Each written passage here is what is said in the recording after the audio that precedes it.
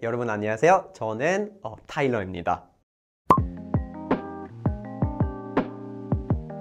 한국어 공부는 제가 한 2007년 여름 방학 때 예, 제가 이제 대학생이었는데 1학년 마치고 2학년으로 넘어가고 있었는데 그때 여름 방학에 이제 시작을 했던 거예요. 2007년.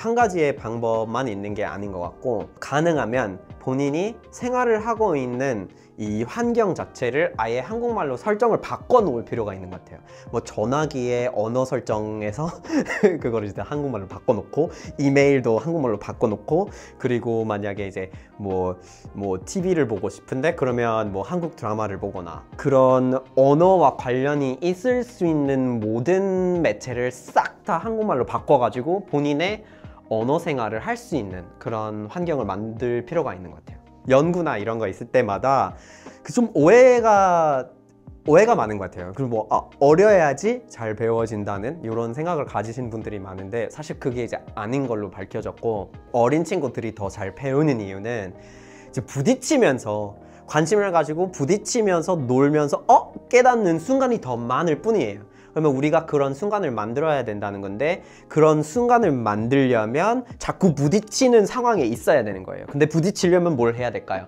언어 환경을 다시 설정해야 되겠죠. 그래서 버튼 누르는 게 어, 이게 불편하다. 보내기가 어디지? 모르겠어. 실수할 것 같아. 이런 순간에 배우는 거예요. 네, 그래서 그렇게 이제 바꾸시는 게 굉장히 좀 예, 효과적인 방법이라고 저는 생각합니다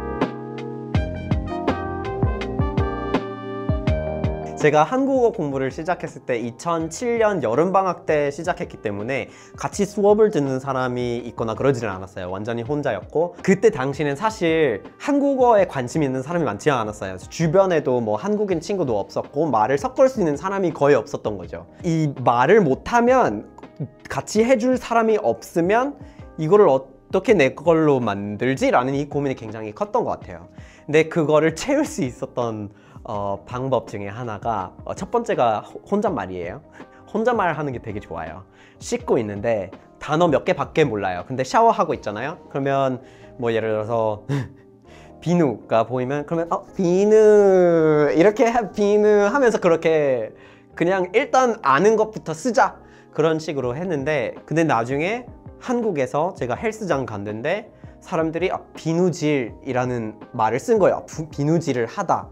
어? 새로운 말인데 내가, 내가 그동안 혼자서 그냥 비누 비누 비누 이러고 있었는데. 그래서 그 실수를 하고 있었다는 걸 나중에 깨달을 수가 있어서 혼잣말이 굉장히 좋은 출발이 되는 것 같아요. 그래서 항상 혼잣말을 많이 하는 편이고 그거를 꼭 많이 해, 하시기를 바라고요. 그리고 두 번째 방법은 어, 그 빈 시간대들을 한국말로 채우려면 그런 팟캐스트나 컨텐츠 같은 거를 좀 많이 좀 소비해야 되는 것 같아요. 많이 봐야 되는 것 같아요. 제가 많이 썼던 방법은 사실은 네, 선현일 선생님이 어, 활동을 시작하실 때쯤에 제가 어, 그 한국어 팟캐스트 같은 거를 찾고 있었던 거예요. 근데 마침 그때 그분이 그런 활동을 하기 시작하셨던 거고 그래서 예, 선현일 선생님이 하는 와, 팟캐스트를 굉장히 많이 들었어요.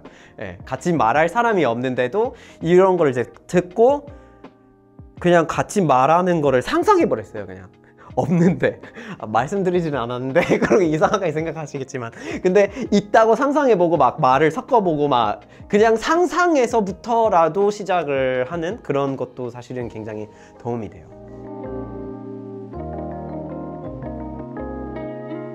발상의 전환이 필요해요 생각을 좀 바꾸셔야 되는 게 있어요. 아 나는 이제 한국말을 배우기 위한 자료를 찾고 있다. 그거를 조금 뛰어넘을 필요가 있어요. 아 이제는 그냥 한국말로 된 뭔가를 찾고 있다. 그래서 한국말을 활용하기 시작해야 된다는 얘기인 거죠. 네, 여러분이 그러면은 관심사에 해당되는 뭐 작가의 소설 아니면 만화책 아니면 뭐 음악이라든가 아니면 그런 것들을 무엇이 됐든 간에 그런 거를 좀 더 깊이 파고 그거를 온전히 한국말로만 하는 시간들을 좀 가질 필요가 있어요.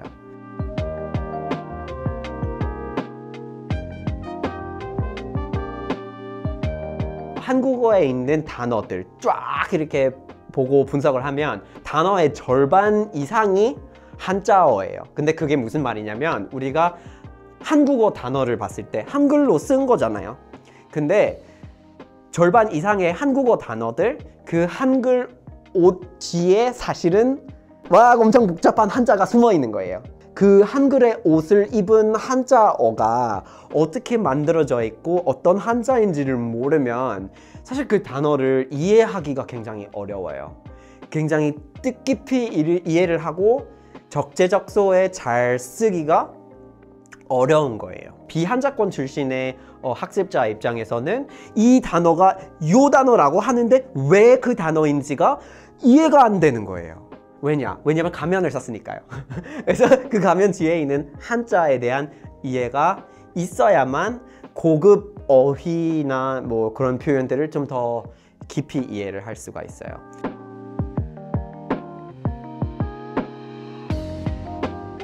어떤 문화권의 사고, 문화권의 어떤 사고나 역사나 좀 굉장히 어, 마음에 가까이 있는 것들을 쉽게 이해하고 소통을 할 수 있게 되는 그런 능력이 생길 수가 있어요. 사자성어를 할 줄 알게 되면은. 그리고 일상생활에서도 많이 쓰니까 사자성어를 쓰면 상대방이 바로 바로 아 그러네. 막 이렇게 하는 순간들이 있어요. 아 뭐 어떻게 어떻게 했다가 굉장히 일석이조였으니까 뭐 잘됐다 하고 그래. 막 이렇게 그, 종, 그 통하는 느낌이 있어요. 그 사자성어를 썼을 때. 왜냐면 함축적인 말이니까 복잡한 얘기 할 필요 없이 쫙 이렇게 하나 던지면 빨리빨리 이해가 되잖아요. 그런 소통면도 있는 것 같지만 그거를 넘어서 사자성어를 통해서 우리가 한자에 대한 이해를 더 가질 수가 있어요. 우리가 일상에서 사용하고 있는 한국말의 표현들 그게 속담이 됐든 그냥 고유어가 됐든 아니면 뭐, 뭐 순한국어? 뭐 이런 표현들도 사실은 한자와 관계가 있는 경우가 많아요. 말을 왜 이렇게 하느냐를 좀 더 이해를 할 수 있게 도와주는 예, 그런 도구라고 저는 생각합니다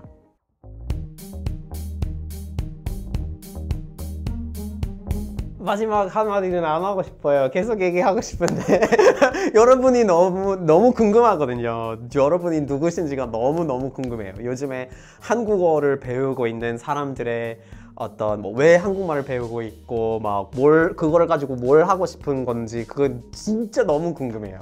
그래서 한국말을 좀 많이 많이 배우셔서 어, 본인의 이야기, 본인의 이야기, 본인이 세상하고 이제 공유를 하고 싶으신 것들을 가능한 만큼 많이 많이 공유해 주세요. 그래서 뭐 블로그도 만들고 뭐 유튜브도 만들고 노래도 쓰고 막 많이 많이 만들어서 많이 많이 올리고 어, 그리고 이제 한국말로 되어 있는 이, 이 좁은 세상을 조금씩 더 확장시켜 주세요.